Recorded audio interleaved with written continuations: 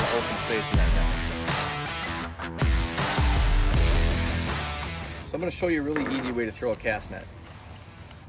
It's a real good way to get bait. They don't cost that much money. If you get one of these and get good at them, it'll save you a ton of time, ton of money. You'll catch more fish because you have fresh live bait all the time.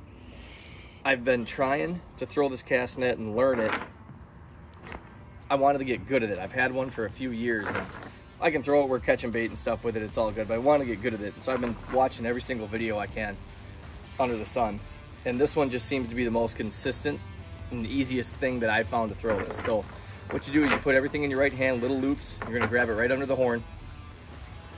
If you're right-handed, do it in your right hand. If you're left-handed, you know, swap it. You come down about halfway, grab the net about halfway down. Same thing in the right hand. You're gonna grab some of the lead line. Make sure it's untangled. Can't have any twists in there, it just won't work.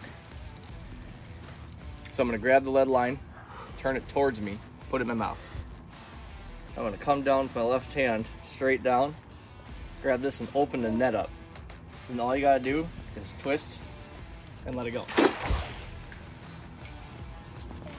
It's a really simple, really easy, quick to reset, and uh, just the most consistent method I've found. There's some other methods I've seen that probably do a little better job opening it up, but it's not every time.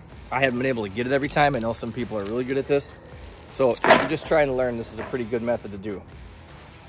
Grabbing the horn, make sure nothing's twisting. Halfway, turn that lead in your mouth. Open it up. Turn it. Super simple. Give this method a shot. It'll save you a lot of money and time if you can catch some bait.